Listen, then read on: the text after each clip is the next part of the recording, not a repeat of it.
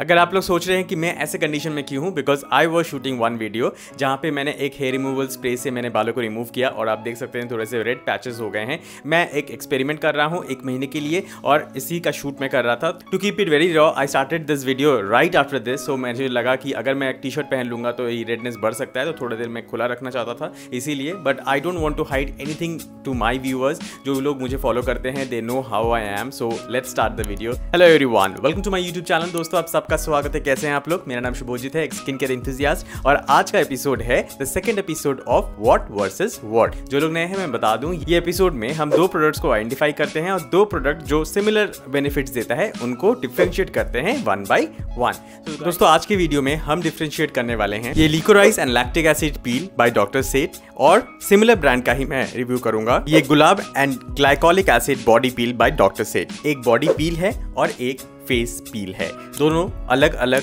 जगह पे आपको इस्तेमाल करना है। मैं ये वीडियो क्यों बना रहा हूँ? क्योंकि ये दोनों प्रोडक्ट्स बहुत ज़्यादा फ़ेमस हैं लेकिन हम बॉडी पील को फेस पे भी लगा देते हैं जो कि बहुत गलत है। आपको बॉडी पील बॉडी में ही लगाना है और फेस पील फेस में ही लगाना है। दोस्तों ये है डॉक्टर सेठ का liquorice and 8.8 lactic acid chemical peel for even tone, glowing skin with 2% niacinamide, calendula extract and AHA peeling solution for face, chemical exfoliator for unisex 30 gram दोस्तों ये जो प्रोडक्ट है ना ये काफ़ी ज़्यादा अच्छा है। आप देख सकते हैं इसको एक थिक लेयर लगाना है इस तरह से। पाँच मिनट के लिए रखना है आपके चेहरे पे। ये एक केमिकल एक्सफोलियंट है गाइज़ इससे आपके डेड स्किन सेल्स दूर होते हैं। इससे आपका जो स्किन है वो ब्राइटन अप होता है। प्लस लॉन्ग टर्म में आपका जो ग्लो है वो मेंटेन रहता है ज़्यादा दिनों के लिए। बिल्कुल रब नहीं करना है। इसे इस तरह से छोड़ देना है। आपको लग रहा होगा कि ये काम ही नहीं कर रहा होगा। बिकॉज़ ये तो कोई स्क्रब नहीं कर रहा हूँ मैं। इससे मेरे डेड स्किन सेल्स कैसे निकल सकते हैं? लेकिन मैं आपको बताना चाहता हूँ, ये एक केमिकल एक्सफोलियंट है। ये अंदर से आपके स्किन को सही कर रहा है। और कुछ ही देर बाद, पाँच मिनट बाद जब आप इसको रिमूव कर दीजिएगा तो आप देखिएगा कि एक इंस्टेंट सा ग्लो आपको दिख रहा है। इसे भी हफ़्ते में सिर्फ़ दो बार इस्तेमाल करना है मैक्स और महीने में सिर्फ़ आठ बार।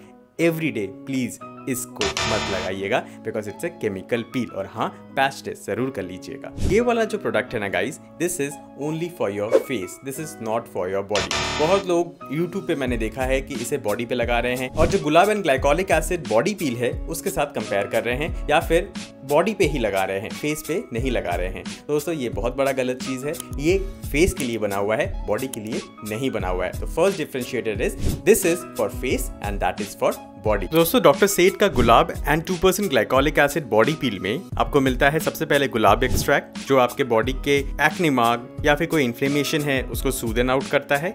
टू परसेंट ग्लाइकोलिक एसिड है। ग्लाइकोलिक एसिड का काम होता है आपके बॉडी को एक्सफोलिएट करना और अच्छे से सारे डेड स्किन सेल्स को रिमूव कर देना। इसमें आपको सिक्स परसेंट लैक्टिक एसिड भी मिलता है, जो अनइवन स्किन टोन को बैलेंस आउट करता है plus one percent mandelic acid है। इस पैक को आप पूरे बॉडी पे यूज़ कर सकते हैं। जहाँ पे भी आपको लगता है थोड़ी सी टैनिंग हो गई है, थोड़ी सी पिगमेंटेशन हो गई है, आप वहाँ पे इसको लगा सकते हैं और पाँच मिनट के लिए इसको रखना है। बहुत हल्का लेयर नहीं लगाइएगा, इस तरह से थोड़ा थिक लेयर लगाइएगा। बस इसको लगाया, पाँच मिनट के लिए रखा और उसके बाद पानी से धो लिया। इसे आप हफ़्ते में एक या फिर दो बार कर सकते हैं। रोज करने की बिल्कुल ज़रूरत नहीं है। आप देख सकते हैं, इसका इम्पैक्ट अच्छा है।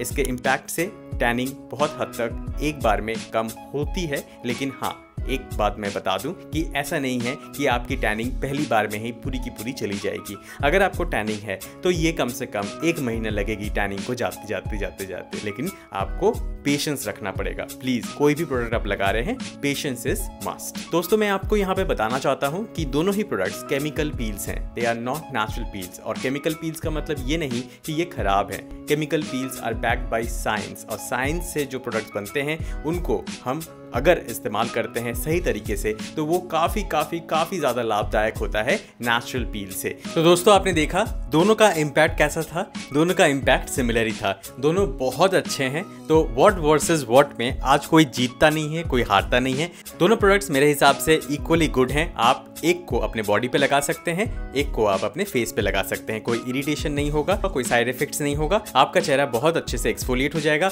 और ग्लो आपको नज़र आएगा। मैंने कोई मॉइस्चराइजर कोई बीबी क्रीम कोई फाउंडेशन नहीं लगाया है. This is a raw face and you can see the glow on my face and my body तो guys I am very sure कि आप इनको ट्राई आउट करके मुझे फीडबैक अपना ज़रूर शेयर करिएगा, जैसे कि आप हमेशा करते हैं.